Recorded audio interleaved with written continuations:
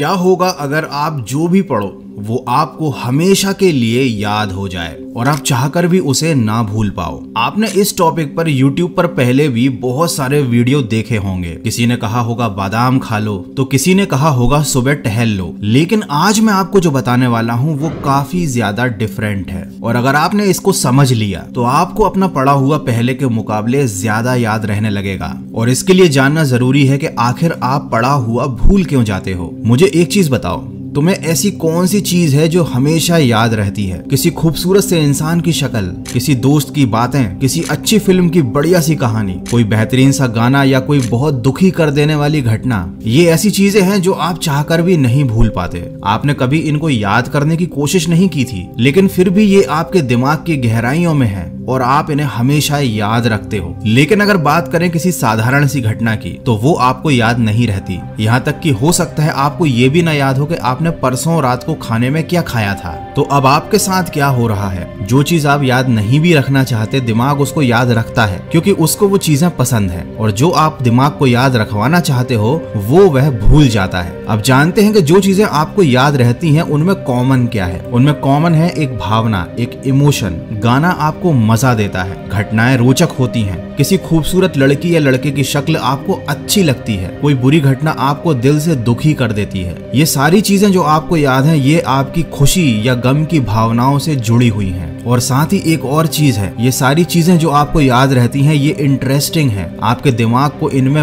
मज़ा आता है। आपकी तारीफ़ हो या आपकी बुराई हो, वो आपको हमेशा याद रहती है क्योंकि वो आपकी भावनाओं से जुड़ जाती है। वो आपके लिए यादगार बन जाती है। अब आप पढ़ाई को इंटरेस्टिंग बना सकते हो या नहीं, ये आपके हाथ में है। लेकिन आप पढ़ाई को भावनाओं के साथ ज़रूर जोड़ सकते हो। और उसका तरीका अब मैं आपको आगे बताने वाला हूँ। देखो, सबसे पहले आपको पढ़ाई को अपने इंटरेस्ट से जोड़ना पड़ेगा, क्योंकि जो चीज़ इंटरेस्टिंग होती है, वो ज़रूर याद रहती है। अब आप कहोगे, पढ़ाई में इंटरेस्ट नहीं है मुझे। इसीलिए कुछ भी याद नहीं होता। तो इंटरेस्ट जगाने का एक बहुत सिंपल सा तरीका है। देखो, आपको अगर कहीं पर भी जाना है तो आपको उस मंजिल में इंटरेस्ट होता है, ना कि रास्ते में। पढ़ाई एक रास्ता ही है, जो आपको अपने गोल तक ले जाता है। अब अगर आपको अपनी पढ़ाई में इंटरेस्ट नहीं है, इसका मतलब ये है कि आपके पास अभी तक अपना कोई गोल नहीं है। तो सबसे पहले लाइफ में आपको अपना एक ऐसा गोल बनाना पड़ेगा, जो वाकई में इंटरेस्टिंग हो, आपकी भावनाओं से जुड़ा हुआ हो, और आप वाकई में वहाँ पहुँचना चाहते हो या वैसा बनना चाहते हो। अब जब एक बार आपका अपने गोल में इंटरेस्ट सेट हो गया, तब उस गोल को अचीव करना ही आपकी लाइफ का एकमात्र मकसद होगा,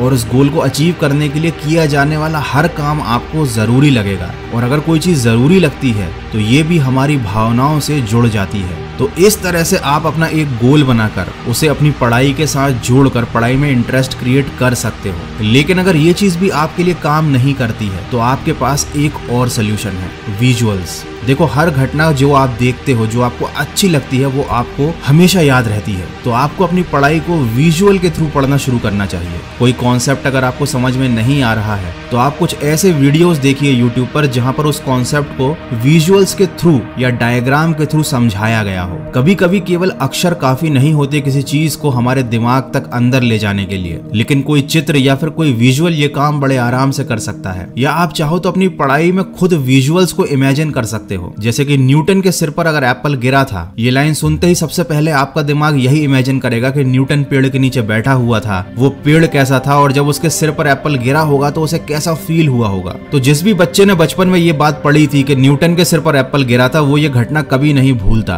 क्योंकि उसने इस चीज़ को इमेजिन किया था। इस घटना के मन में विजुअल्स बना लिए थे। तो अगर आप किसी चीज़ को याद रखना चाहते हो तो सबसे पहले पढ़ाई में इंटरेस्ट क्रिएट करो, अपना एक गोल बनाओ और फिर उसके बाद विजुअल्स की हेल्प से अपनी इमेजिनेशन की हेल्प से। उस चीज़ को इतना इंटरेस्टिंग बना लो कि आप खुद उसे कभी ना भूल पाओ। ये दोनों चीज़ें काफ़ी अजीब लग रही हैं, लेकिन आप एक बार अगर इन्हें करने की कोशिश करोगे तो ये बहुत मज़ेदार है। और जो चीज़ मज़ेदार होती है, आपके दिमाग को वो करने में बड़ा मज़ा आता है। वो चीज़ उसे हमेशा याद रहती है। तो आई होप कि आप जब पढ़ाई करने बैठोगे तो इस टेक्निक को एक बार यूज़ करके ज़रूर देखना। डेफिनेटली आपको इससे बहुत ज़्यादा हेल्प मिलेगी। और अगर ऐसा हो तो मुझे पढ़ाई करने के बाद इस वीडियो पर वापस आकर कमेंट करके ज़रूर बताना। और अगर ये वीडियो आपको अच्छा लगा है, थोड़ा सा भी हेल्पफुल लगा है तो इसको शेयर करना। मैं मिलूँगा आपसे अगले वीडियो में जो आपके जीवन में सकारात्मक ऊर्जा को भर दे और आपको दिखाए एक सही दिशा। सुनते रहिए मन की आवाज़।